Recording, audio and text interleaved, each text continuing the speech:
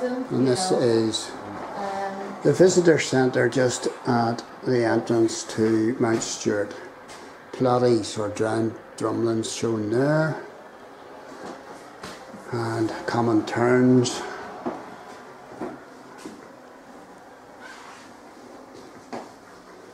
Plenty of seals and starfish.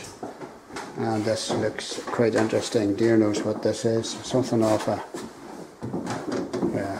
I'm not sure what it is.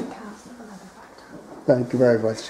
The, the young lady here kindly has told me this is the cast of a leatherback turtle. I would have known that, you know. Uh, not. So, welcome. What to look out for? Terns, uh, sea asters, and cinnabar moths. And here's some of the flora and fauna that you might see. Gannet, red squirrel, grey squirrel, and that looks like a pine marten. And all the different shells and all the rest of it. And we've got a seal pup.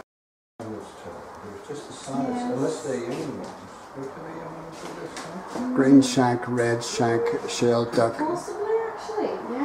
great crested grebe, Brent goose, peregrine, looking a wee bit worse for wear. Uh, not sure what that boy is. Uh, otter, badger, heron, curlew, barn owl, uh, oyster catcher, shoveler, common scooter, pintail, and golden. Nice bit of mosaic there.